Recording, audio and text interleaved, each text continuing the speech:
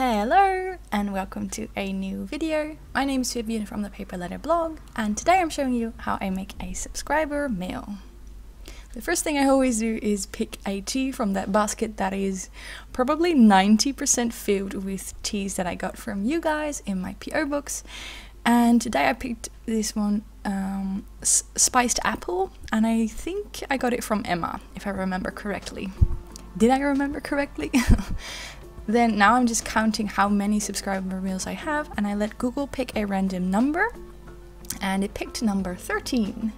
So then I look for number 13 because that will be the mail that I am replying to today. And it is that cute envelope, which was part one of two from beautiful mail that I received from Ann. And while I already had the idea to make a fall themed meal for today, I was actually even more excited because I know that Ann really loves fall. And um, she sent me a beautiful box with goodies and a lot of handmade things. uh, a lot of them were also fall themed. So I was really excited to make this, well, fall themed meal for her. so I picked that paper uh, from a paper pad that I got from Action. I actually got it last year, but I barely used it because I find it a little bit difficult to craft with those colors, you know, the orange, the brown, and the yellow, and the red, because those are really fall colors. Um, it's a little bit out of my comfort zone, but I have to say that I really, really enjoy going out of my comfort zone. So I've been playing around with colors and different materials that I find really matching for fall, such as craft paper. And in this meal I also tried some of those ideas.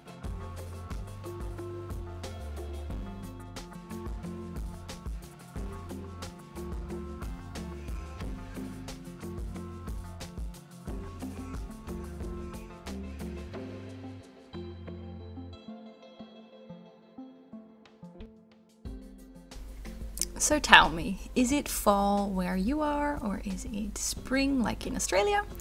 I can definitely say that it is fall here. Um, I don't know if I like it a lot because I usually prefer spring, but um, it has been really, really weird here because one week I was still in a t-shirt and the next week I had to wear a gloves and I'm still not really used to that. Although I also have to say I really do enjoy those days you can spend inside reading a book drinking some tea making some meal and I have to say that I have been working in the cat cafe a lot lately.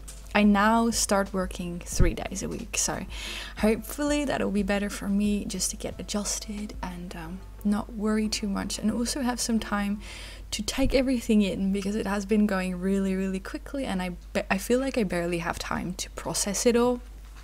But when I do work, I have to say I really enjoy it because um, the cat cafe where I work, we're basically a living room, a large living room. So we also have couches and we have rugs and, um, of course, four cats. So it's a really, really relaxed area to be in. And it has been raining a lot and it's just so it has something so comforting to be inside when it rains i don't know if you guys agree but we have these really really big windows so we can see mm, this is a little bit mean but we can see people out in the cold and we're inside and warm and actually quite warm because it has been really really busy and um, I'm usually the waitress, so I'm usually in the front, you know, communicating with the guests and, um, well, in front of the restaurant. But the last week, I have started doing something that is actually new to me, and that is the bar side of the restaurant. So that means that I prepare all of the coffees and the teas and the drinks, and I, um, yeah, I make sure everyone gets their drinks. So I've actually been in the kitchen more, which is new to me, and I, I, I never thought I would enjoy it, but I have to say, it's a really different kind of rush because although I do not communicate with the guests as much, which is something that I usually really enjoy. It has something, I would almost call it addictive. Uh, when you have a, like, for example, people would come in at 12 and they would all come at the same time. So it was really, really busy. And you get that rush of having to do so much in so little time. And I, I, I, never really enjoy stress but this is also a good kind of stress. When you know that you've got it covered when you know that you can make those cappuccinos and those lattes and whatever else it is people order and when that rush is over, like when the people are seated and they all have their drinks, and you still have to make drinks, but not all at the same time, you really get that satisfaction of knowing that you handled your ground and you survived and you did well. I hope that makes sense, but that is actually what I also used to like about waitressing when there are so many tables you have to look after and you still manage to do a good job that just gives some kind of rush. There's no other way I can explain it. And with the cat cafe, that is a little bit different because it waitressing there is just really different. It's a little bit less running around and more interacting with guests, which is something that I really like.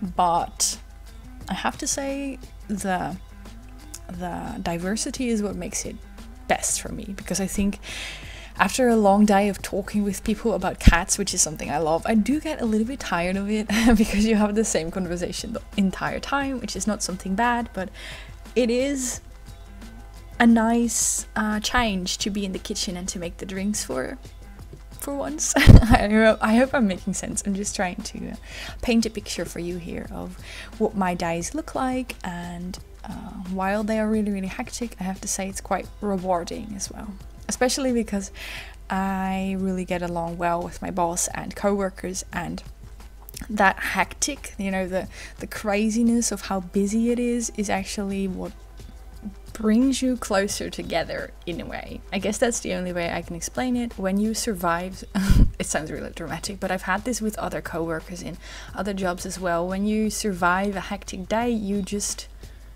you get that feeling of teamwork.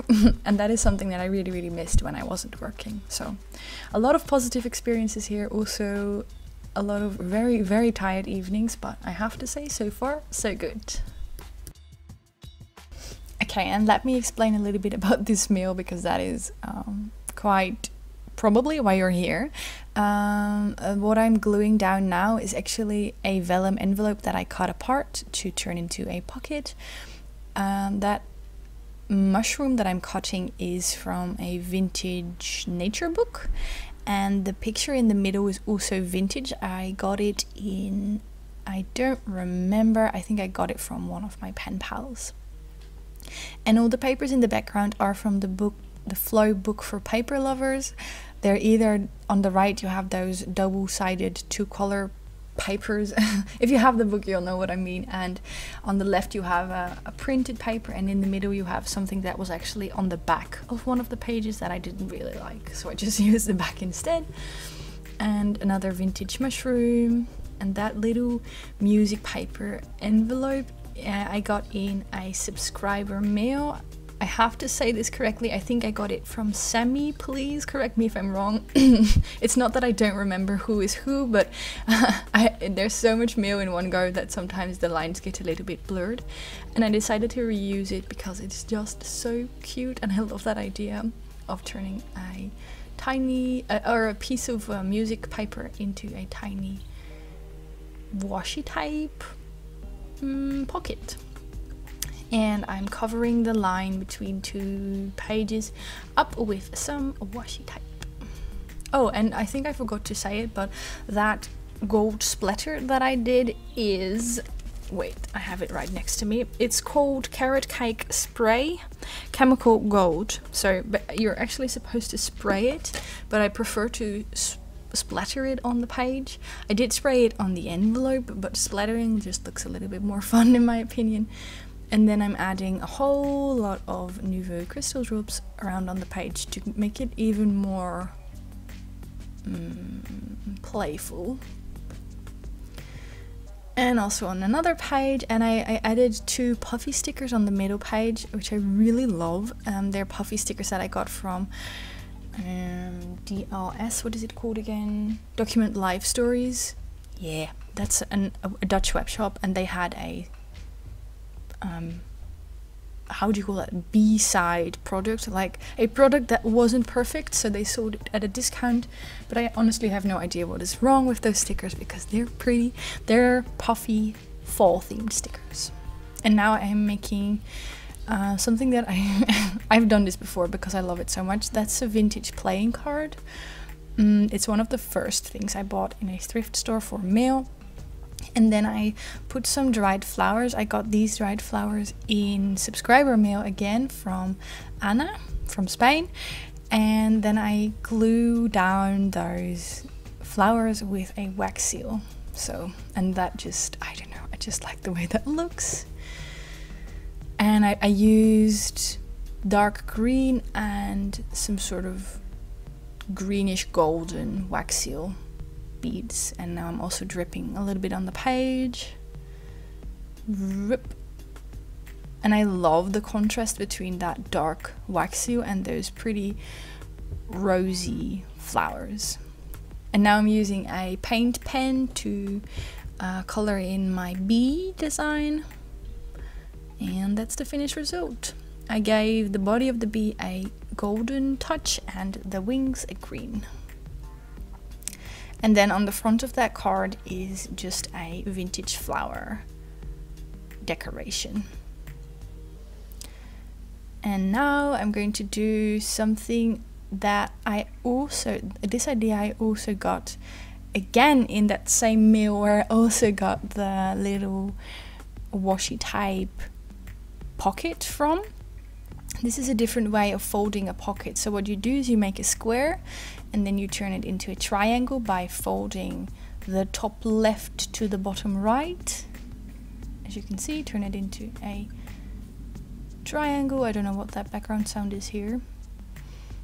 I'm going to explain and then you do the, the fold the left part over to the right and then the right part over to the left cannot explain this any more clearly. Just watch my hands and hopefully you'll be able to copy it. And then you're going to fold the top flap, one of the top flaps down. And what this does is it's basically an origami way of making a very pretty pocket. I had never seen this before. I had never done this before and you can decide to either uh, put the flap, the last flap you folded over the other two flaps are behind and I'm, I'm choosing to put it behind because I just like that mustard color a bit better. Um, but it's basically an origami way of creating a little pocket and I really liked it. Like I said, I had never seen it before. It is in subscriber mail opening number five, if I'm not mistaken. And I decided to see if I could make one myself because I really like learning from you guys. so all credits go. Uh, not to me, of course and I'm just now I'm just gluing it down but I don't know I think the one I received was not glued down that's just something I like to do. And then oh this is just an envelope I made a whole a very long time ago and I'm going to fill it with those pretty washi tape stickers. All of them in a fall excuse me in a fall theme. Okay somewhere somewhere some wow let's do that again. Someone somewhere in the apartment building we live in is, I don't know, drilling or something. I really hope you cannot hear it on the voiceover. I don't know why people do that. It's a Sunday when I'm doing this voiceover. Let me have my quiet Sunday, please. I had to work last Sunday, um, so I want to enjoy this lazy day. Now I'm using a Gelly Roll to write for you. A white Gelly Roll. They're so nice to work with. I got this one from Roxanne a long time ago but they're really nice to work with. And I'm uh, tucking that envelope into the pocket I made earlier. then I'm putting that origami pocket on the left and I'm uh, adding that little foam fox that I got in a swap and I added a again a fall fall flavored tea in that pocket and I'm now going to use that golden strip. I don't know it's it's called cardstock. I had i've had it since i was a child. My mom actually brought it here. She said oh i found this in one of your old drawers. I thought maybe you can use it since you're now crafting again. And I used that to make a washi tape sample and I'm now just trying to figure out where to put it. I put the washi tape sample in that Purity uh, music paper pocket. By the way, I want to ask how do you guys feel about me reusing those things like those little envelopes? Is that okay? I usually don't mind it when a pen pal reuses something. That's why I make the envelopes, um, why I glue them down, not with glue, but with washi tape so that my pen pals can reuse them. But if you are not okay with it, feel free to let me know. And yeah, these are some butterflies that I got from Action a long time ago, and I thought they matched so well, like orange brownish. And I'm using foam tape to elevate them, make them stand out a little bit more. I think they, they go so well with this theme. Even though I don't even know, are there butterflies in fall? Oh my gosh, I don't even know. But oh, what I'm doing now is actually something new.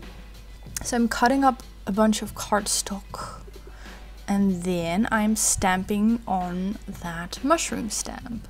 So the reason why I'm doing that is because um, Ann actually ordered something from my Etsy store a little while ago and then I put that stamp on a tag and she liked it so much that she messaged me about it so I thought I would add some more on cardstock with waterproof ink so that she can actually color them in if she likes and I'm also making some collage tags. I don't really know how to explain this, but basically what you do is you use different colors of ink and different stamps and you stamp them all around the page to make some sort of a collage.